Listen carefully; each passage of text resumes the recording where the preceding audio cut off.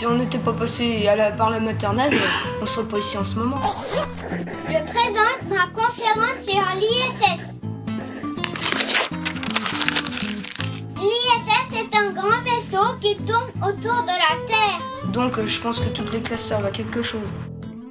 Bienvenue dans La Buissonnière, le podcast qui part à la rencontre de celles et ceux qui font vivre l'école au jour le jour, qui se lèvent chaque matin avec l'envie de transmettre et qui, à leur échelle, changent le monde. Dans cette première saison, nous allons pénétrer au cœur de l'école freinée de Vence. Nous allons y suivre la classe de maternelle et son enseignante Marie. Vous verrez comment les enfants y apprennent à devenir citoyens, à vivre ensemble, à coopérer, régler leurs conflits, à prendre soin des autres et de la nature, mais aussi à exprimer leur potentiel, développer leur centre d'intérêt et leur personnalité. Dans cette école, dès 3 ans, on y apprend à lire et à écrire, on produit des textes libres, on fait des conférences, on prend la parole en réunion de coopérative, on jardine, on bricole, on peint, on découvre le monde.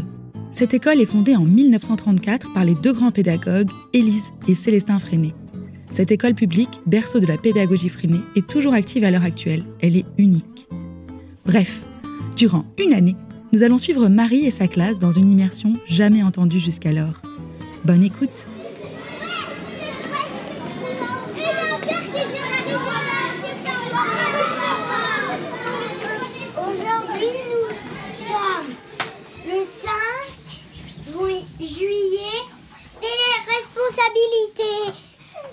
de chat, t'as donné à boire et à manger. Et tu l'as brossé Non.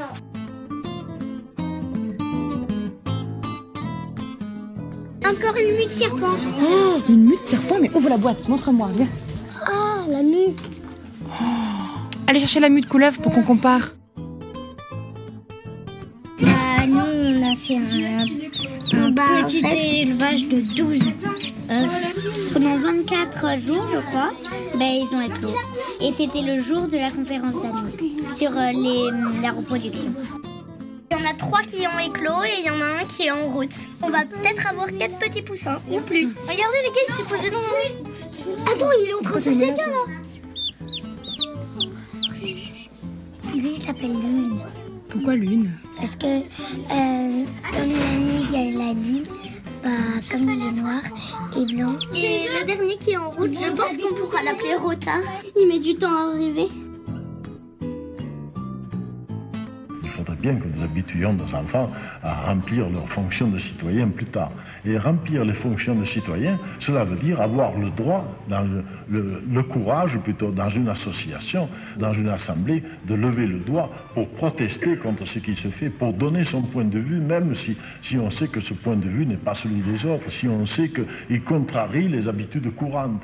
Il faut que nous préparions nos, jeunes, nos, adolescents et nos enfants à, dire en face du problème social et politique sera, qui sera présenté demain, ce qu'ils ont à dire, comment ils doivent concevoir la société, comment cette société peut se réaliser pour qu'elle réponde également à leurs besoins. Ça, c'est une fonction, cette fonction active de l'éducation.